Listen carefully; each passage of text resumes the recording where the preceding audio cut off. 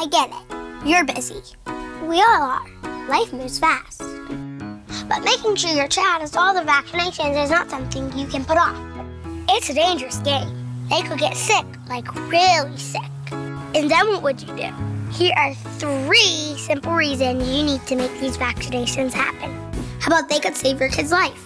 Diseases that used to kill and injure thousands of children have been almost completely wiped out thanks to vaccines.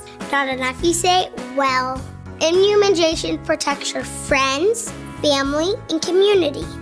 Some babies are too little to be vaccinated. And some kids and grown-ups have special health reasons they can't be vaccinated either. By making sure your kids get their vaccinations, you are protecting them and everyone else that they could get sick. It will save you money and a whole lot of grief. Measles, whooping cough, chickenpox, all of this stuff can be prevented. Don't want to miss a bunch of work in school? Don't want to spend days, weeks, months in the hospital? So get your kids vaccinated already. Now you have got it. Get your kids up to date before they aren't allowed to start school, or even worse, get sick. Visit chp.edu slash immunize to learn how to keep your kids safe.